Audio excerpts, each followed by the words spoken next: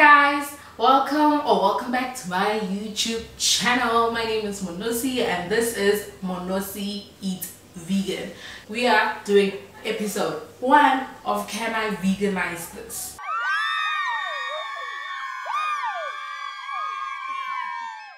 The famous tiktok viral tuna cutter sandwich. If you don't know what the tunacado sandwich is it's a sandwich that went viral on tiktok. It's from a juice bar in america called joe the juice.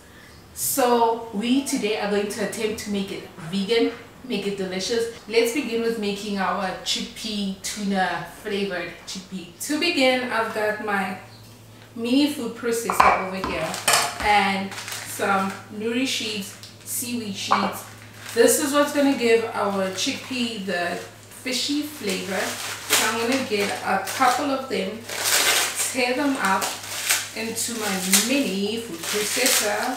I hate when people say a couple and they don't actually need to. A couple means two, literally. And then I'm going to blitz it up until I get like powder. This is what it's looking like right now. It's the dashed. I've got my sandwich toaster over here and I'm gonna preheat it. I've got canned chickpeas over here and I'm gonna try and get rid of the skin on them because it does sometimes like interfere with the texture. I'm just popping the chickpea like that and then I have the skin left over here so I'm gonna do a few. I'm gonna just make one sandwich so I don't need a lot of there. I love a good sandwich. And I saw this and the actual juice bar released the recipe and I was like mm, I gotta try this gotta try and make it vegan. I think that's enough. I have like about half of the can okay. We're gonna start with toasting our bread. They use a secret bread they say uh, it kind of looks very thin and it's whole grain. I forgot to buy the whole grain. What I have here is the squares. It's this type of bread blue ribbon squares. It's thin. It comes pre-cut. As you can see it's very very thin. You can find this bread any local grocery store. Woolworths has them I bought mine from Pick and Pay. Checkers has them. So I'm gonna pop them in the toaster because it's usually like one long one. It looks like this. So we're gonna use two of these, which will equal one sandwich, I guess. And I'm gonna pop it in the toaster at an angle because they try and get the crisscross motion. That's what I'm gonna get. While that's going, we're continuing with our tuna or as we call it the vegans tuna c-h-u pro tip i always have like diced onion in like a container but i always use the same container because it will stink it up. And i keep it in the fridge. So when i'm cooking and i'm a bit lazy i always have diced onion ready to go. I need it to be finer than what it is right now so I'm gonna dice it so they don't give the actual recipe for the tuna that they have but it looks like the tuna that you, that you would have in your sandwich. So I'm gonna make it how I like it which is with a bit of onion some herbs. Theirs also has mayo. You can clearly see there's mayo in it. Squeezing a few squeezes of a lemon and obviously the seaweed that we just prepared. So my onion is fine enough for me. Okay, let me mash my chickpeas first. So mashing those. Let me check on the toast. Really nice grill marks. Let me change the direction.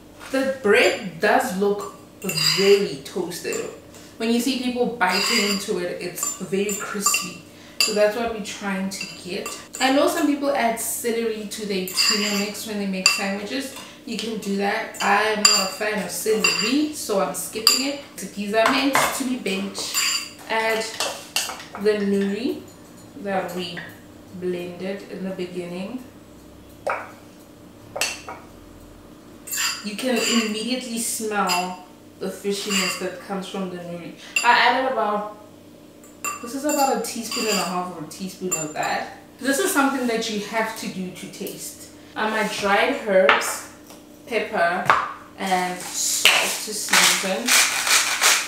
There goes a bit of salt, pepper, the dried herbs. Now I'm adding some mayonnaise. Goes right in. That was like a tablespoon and a half. I don't know if that's gonna be enough. Stir, stir, stir. Squeeze of lemon. Tell me that doesn't look like a tuna sandwich. Like, okay at that. Open your mouth for a taste.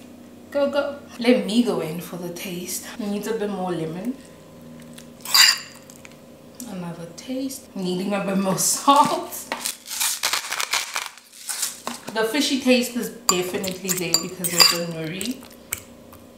Besides the texture, because it's not like tuna texture, you fool yourself, you're having some tuna. I think that right there is perfect and ready. My toaster is a tad slow, so let me check on the bread.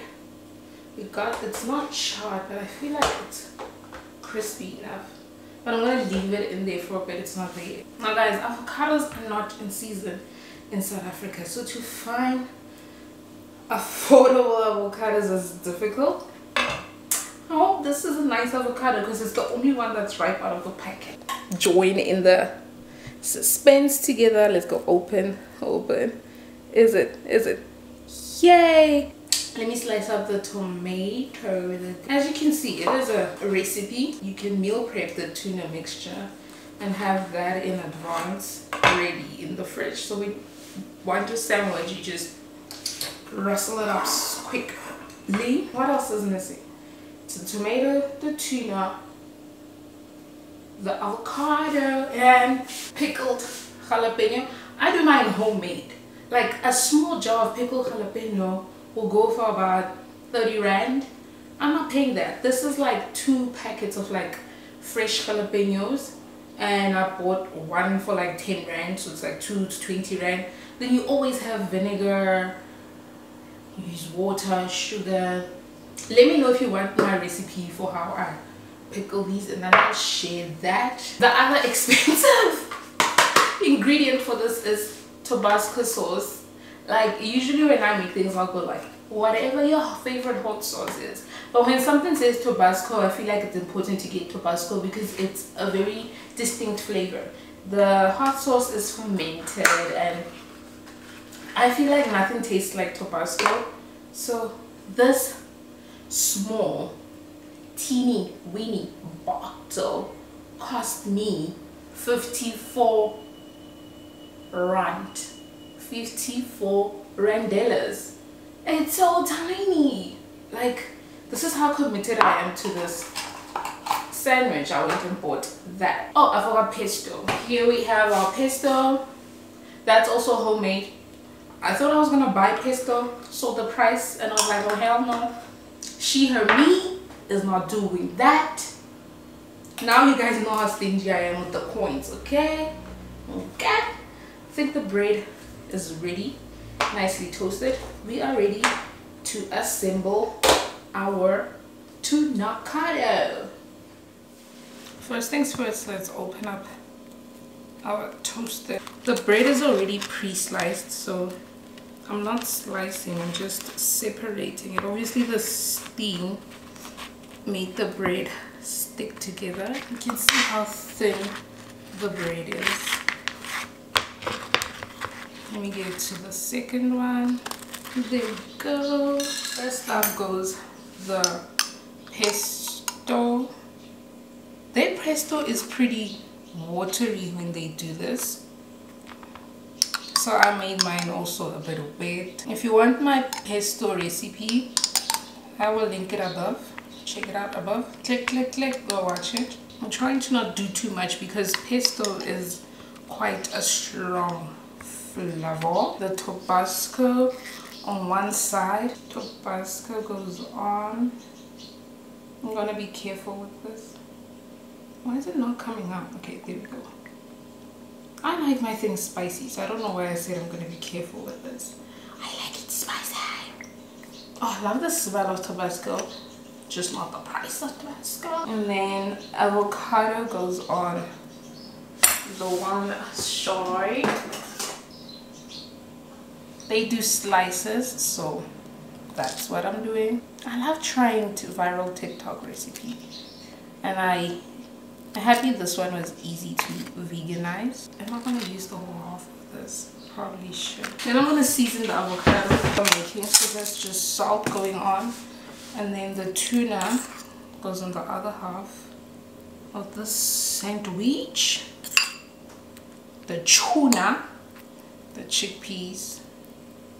Before non-vegans come to me and say, that's not tuna, that's not tuna. But you get the point. The tuna that goes on. Tomatoes. Seasoned. Pickled jalapenos. I'm not gonna do too too much because we already have acidity in the tuna, the chickpeas. So adding this for the spice and the crunch also. Love the crunch of pickled jalapenos. And that is the tuna tunacado. Close it up. Close that puppy up. If it was like one long sandwich like this, this would look exactly like the Joe and the Juice sandwich. Let's go in for the bite. Just look at this puppy. What am I doing? Look at it. Look. Going for the bite. Going for the bite. Now it's time to go in for the taste I probably need a bib for this because I'm a very messy eater. But let me do the hunch. Lean forward. Mm. So many flavors. So much going on. I'm going for another bite. I'm speechless. Do I have any in my mouth? Probably do. Guys, uh, this sandwich is immaculate. How about it's everything about it for me? It's everything the pesto, the mock tuna, tomato, avocado. Now I'm just naming all the ingredients, right? This sandwich is delicious.